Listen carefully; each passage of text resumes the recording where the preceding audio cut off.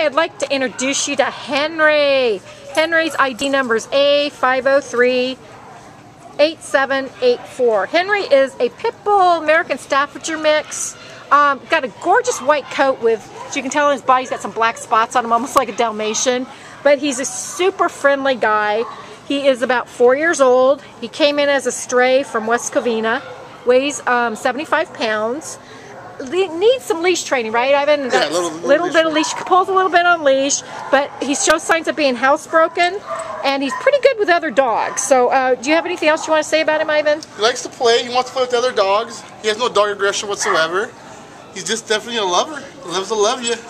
he's a gorgeous guy. So I think if you're an active household or an active individual, then give him plenty of inner, you know, walks or hikes. This is your kind of dog. He's absolutely gorgeous and friendly, curious kind of happy-go-lucky.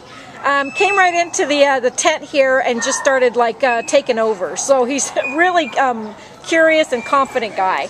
So come down to the Baldwin Park shelter and meet uh, Henry, um, ID number A5038784. Bye, Henry.